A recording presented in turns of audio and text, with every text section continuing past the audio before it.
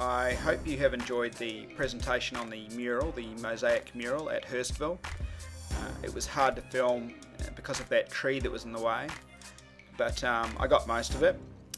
I am interested always in hearing other people's takes on these things, on the symbology that I show within my videos. Uh, I threw some extra imagery in here, but it's not necessarily related, although you, perhaps you could relate it, who knows.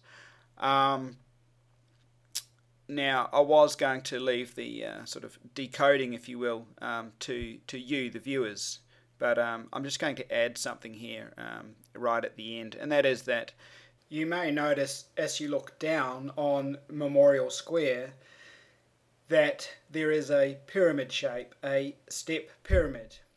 Now, uh, that would uh, theoretically go right up to the wall. So, up on the wall to, to the left is the mural with the eye. Now, the eye uh, does appear to be travelling in a certain direction, and, and the direction is uh, towards the top of the, uh, the pyramid. So, if it was theoretically to do this, uh, it would also be aligned, once in the centre, it would be aligned with the other two mosaics which are set into the footpath, the round mosaics. So everything would line up there. So I'm just, uh, you know, theorising here from observations and thoughts. Bye for now.